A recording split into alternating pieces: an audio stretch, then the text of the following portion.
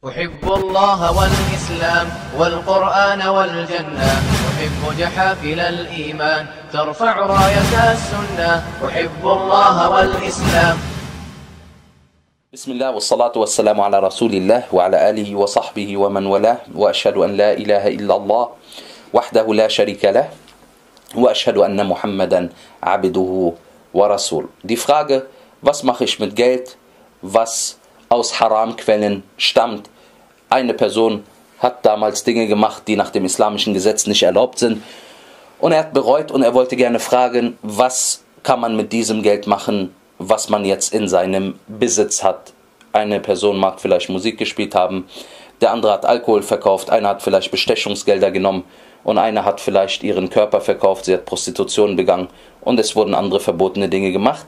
Wenn man diese Dinge gemacht hat und man hat daraus Vermögen erzielt, so gibt man dieses Vermögen, nachdem man bereut hat, für wohltätige Zwecke. Man gibt sie für wohltätige Zwecke. Aber wenn man außer diesem Geld nichts besitzt, das bedeutet, man würde nichts übrig haben für das Leben, um zu überleben, so nimmt man sich von dem Geld nur so viel man braucht. Den Rest gibt man für wohltätige Zwecke. Sheikh al-Islam ibn Taymiyyah rahimullah ta'ala sagt, فَإِن تَابَتْ هَذِهِ الْبَغِي وهذا الخمار وكانوا فقراء جاز أن يصرف إليهم من هذا المال مقدار حاجتهم.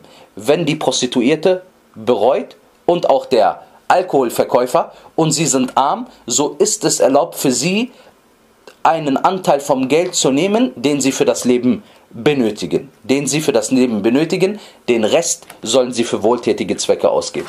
Was aber, wenn jetzt eine Person Geld besitzt aus Harammitteln und aus Halalmitteln? Er hat sowohl Vermögen aus einer Quelle, die halal ist, die etwas Erlaubtes ist, und er hat Vermögen aus einer Quelle, die haram ist. Jemand arbeitet zum Beispiel im Restaurant, er verkauft Alkohol und er verkauft Schweinefleisch, aber nebenbei verkauft er auch Produkte, die halal sind. Wie verfährt er hier? Diese Person soll sich anstrengen zu bestimmen, wie viel der Anteil beträgt, der haram ist.